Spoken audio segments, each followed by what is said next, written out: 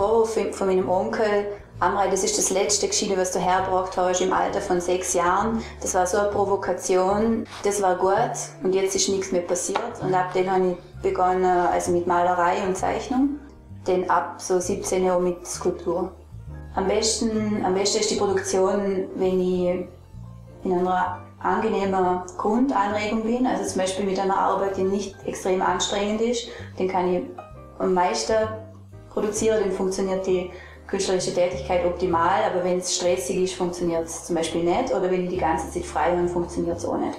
Ein Effekt von, von der Umgebung auf meine kreative Energie, würde ich mal behaupten. Die Arbeit an einer, an einer Malerei dauert sehr, sehr lange. Und es ist die ganze Zeit äh, ähm, Sache des Bildes und das Bild ist nicht gut und es gelingt nicht. Es ist eigentlich wie eine Wunde, wo schmerzt.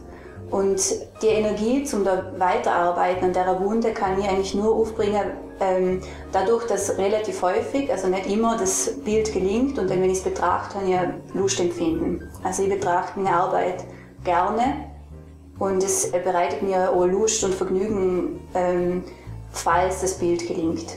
Ich komme in der Arbeit in einen Flow-Zustand, wo die Zeit sich verändert und äh, man intensiv und konzentriert einfach nur an das denkt, was man gerade macht. Und das finde ich sehr angenehm, vor allem im Kontrast zu der wissenschaftlichen Arbeit oder auch damals zum Studium oder im Gymnasium. Das ist eine ganz andere Art von Sein.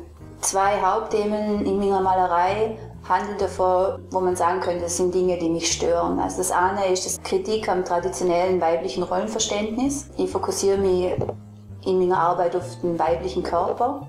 Also ich arbeite imaginativ, aber trotzdem realistisch. Das heißt, es sind äh, eigentlich Archetypen oder Märchen oder Traumwelten, die parallel sind zu einer Realität, aber es ist trotzdem, äh, ich versuche äh, ein realistisches Abbild von der Realität zu machen, das sich eben kombiniert mit unrealistischen Elementen. Nur wenn mich das Thema wirklich interessiert, dann habe ich wieder die Energie, zum so lange am Bild arbeiten und eben die schmerzhafte Produktion auszuhalten. Ist natürlich auch angenehm, aber trotzdem schmerzhaft. Und wenn ich mich für ein Thema entschieden habe, dann ich Modelle oder Vorbilder, Vorlagen. Und die sind kombiniert, entweder sind sie total ähm, erfunden oder sind eben Vorlagen von Freundinnen von mir, von meiner Schwester, von bekannten Frauen. Oder sind manchmal sogar Vorlagen aus eben populären Filmen, wie zum Beispiel Alien oder, oder aus irgendwelchen äh, Spinnenfilmen, weil ich die ähm, Mythen von der Populärkultur bedienen möchte.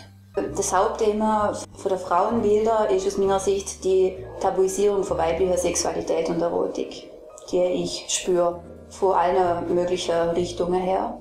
Und die Frauen, die ich zeichne, haben äh, ihren Körper unter Kontrolle, aber es ist trotzdem ein lustvolles Erleben von ihrem eigenen Körper. Viele würden sagen, wieso zeichnest du halbnackte Frauen, die eigentlich einem modernen Bild von Weiblichkeit entsprechen? Eigentlich ist doch deine Aufgabe als Künstlerin, Frauen zu zeichnen, die eben nicht sehr als sexuell attraktiv empfunden werden. Aber ich finde eben, dass meine persönliche Aufgabe habe ich identifiziert, indem dass ich eben sage, eine Frau kann sehr wohl sexuell attraktiv sein und trotzdem ein Subjekt und nicht Objekt. Also ist nicht dadurch äh, versklavt durch ihren Körper, sondern der Körper ist eine Methode zum einem mystischen Erlebnis zum Körper. Die Methode durch äh, Erotik oder Sexualität äh, Erfüllung zu erreichen. Und so sind in meinen Bildern Frauen in einer oh, durchaus in erotischen Posen abbildet, wo nachher von mir aus erregend wirken können. Also in der Emotionsforschung werden zum Beispiel zum äh, Hervorrufen von positiven Emotionen verwenden wir meistens äh, Bilder von nackten Frauen. Und die wirken bei Männern und Frauen, hat das einen starken positiven Effekt auf die Emotionalität, während leider nackte Männer praktisch nie einen positiven Effekt haben auf die Emotionalität. In der skulpturellen Arbeit habe ich mich eigentlich beschäftigt mit dem Punkt, dass der Körper optimiert wird gesellschaftlich, oder dass es verlangt wird, dass der Körper optimiert wird und zwar auf die Art, dass sie halt unperfekte Körperteile in einem, äh, produziert haben in großer Menge. Also Serialität von unperfektem Körper im Gegensatz zu der Serialität von der perfekten Körper, die in, äh, in den Medien präsent sind. Also ein Freund von Körperlichkeit und ähm, ich finde, dass man den Körper so gut wie möglich bewahren sollte und schützen vor Gefahr. Egal was für Gene man hat, wenn man sich um seinen Körper kümmert, geht es einem besser. Das ist wahrscheinlich mein, mein pharmazeutischer Hintergrund. Ein großer Anteil meiner Arbeit handelt eigentlich von dem Thema Rette dich, du bist in großer Gefahr. Und zwar handelt es sich um äh, Monster oder für den Menschen bedrohliche Tiere, die ja dann auf kleinem Format gebannt werden. Und also ich glaube, dass ich durch die Erbannung von den Monster, die eine Gefahr für Leib und Seele darstellen, dass ich eben eigentlich eine Angst, eine Urangst in ein lustvolles Empfinden umwandeln kann. Also ich mache mir viel Sorgen, da mir oft die schlimmstmögliche Wendung ausdenke. Für mich als engsten Typ bereitet das Vergnügen, eine potenzielle Gefahr zu bannen auf dem Wild. Also wie, es ist eine Art magisches Bannen, das sich dann wieder in eine Lust verwandelt. Also Hai ist das Hauptthema identifiziert, der Hai. Ich glaube ja, dass ich kein komplizierter Mensch bin. Also das, das Symbol für den Hai ist der Hai. Es ist nicht irgendwelche andere Dinge, die mich bedrohen oder belasten, sondern der Hai ist tatsächlich der Hai. Ich habe noch Träume, dass ich in Italien im Urlaub bin und meine Eltern schwimmen im Meer und da schwimmen Haie und ich sage, komm, komm raus und sie sagen, nein, ist doch kein Problem. Also der Hai ist aus meiner Sicht wirklich der Hai.